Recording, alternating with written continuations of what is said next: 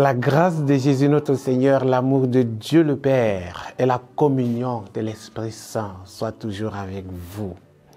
Bienvenue en ce 26e dimanche du temps ordinaire de l'année liturgique C.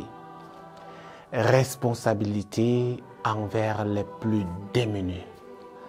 Le pape François, dans son encyclique Evangelii Gaudium, invite les fidèles à répondre à l'évangile à le vivre plus pleinement et plus profondément, à aller vers les pauvres et les briser, à mettre fin à l'injustice, à construire la paix.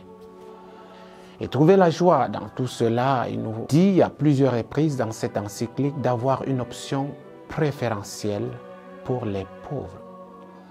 Dans cette encyclique au numéro 48, nous devons affirmer sans mâcher nos mots qu'il existe un lien inséparable entre notre foi et les pauvres. Nous ne puissions jamais les abandonner.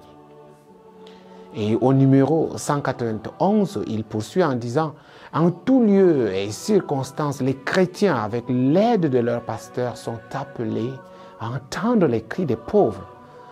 En voyant leur pauvreté, en entendant leurs cris en connaissant leurs souffrances, nous sommes scandalisés, car nous savons qu'il y a assez de nourriture pour tout le monde et que la faim est le résultat d'une mauvaise répartition des biens et des revenus.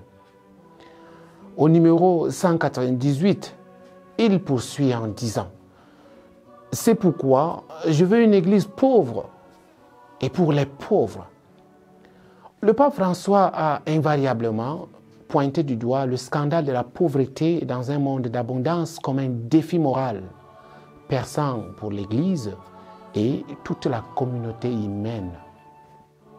Les affirmations aussi dessus du pape et les lectures d'aujourd'hui sont tellement intrigantes.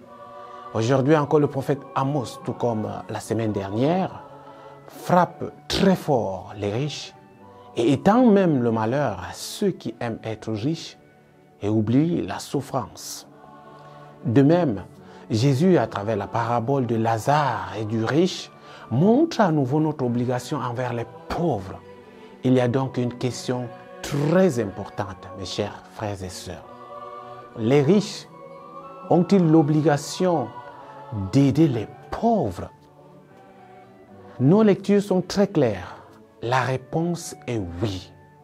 Nous ne pouvons pas négliger les pauvres qui nous entourent. En tant que personne de Dieu, nous n'avons pas à créer un abîme entre nous et les Lazars du monde, en nous plaçant parmi les gens des dives qui parcourent encore la terre.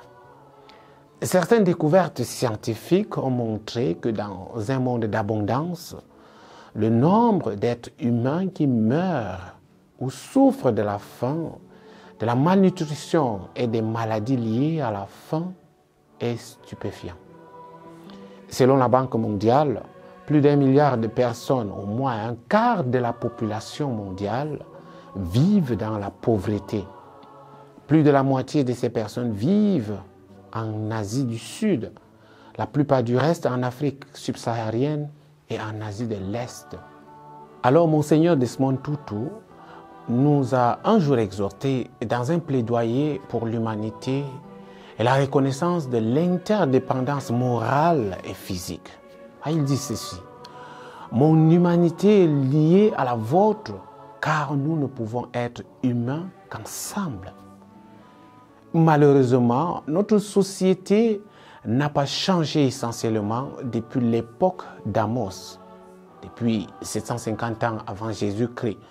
Les lectures d'aujourd'hui euh, nous interpellent tous.